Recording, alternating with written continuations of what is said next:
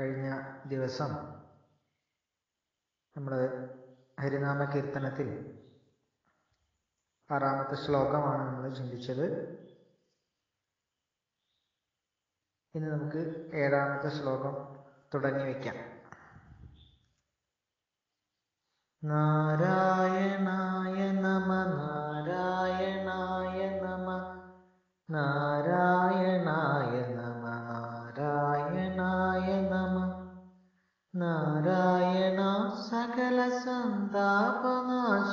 ജഗന്നാഥ വിഷ്ണു ഹരി.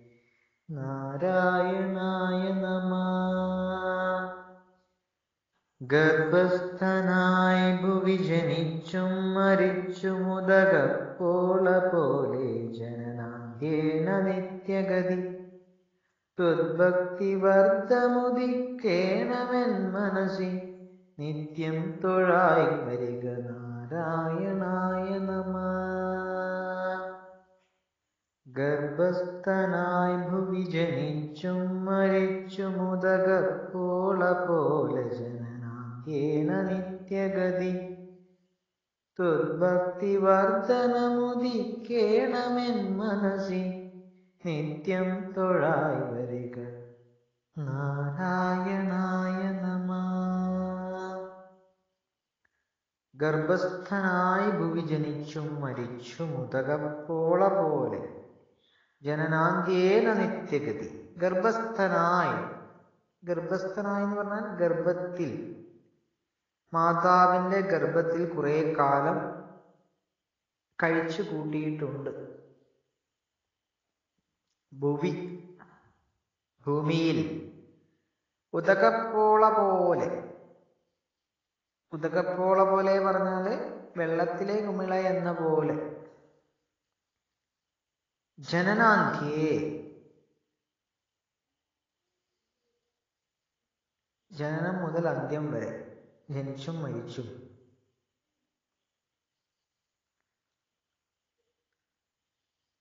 ഞാൻ നിത്യഗതി.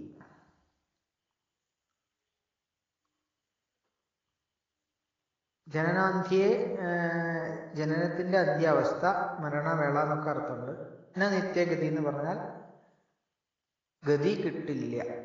മോക്ഷം ലഭിക്കുന്നതേയില്ല. എൻ മനസ്സി.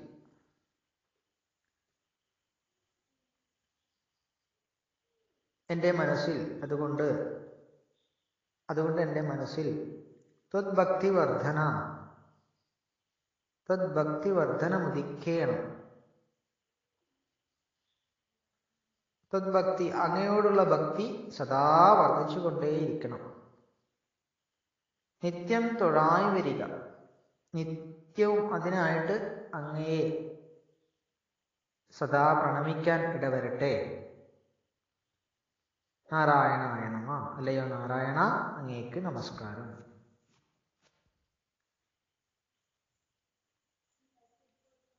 മായ എന്ന മറ നീങ്ങാത്തിടത്തോളം മാതൃഗർഭത്തിൽ കുറെ കാലം കഴിച്ചു കൂട്ടിയിട്ട്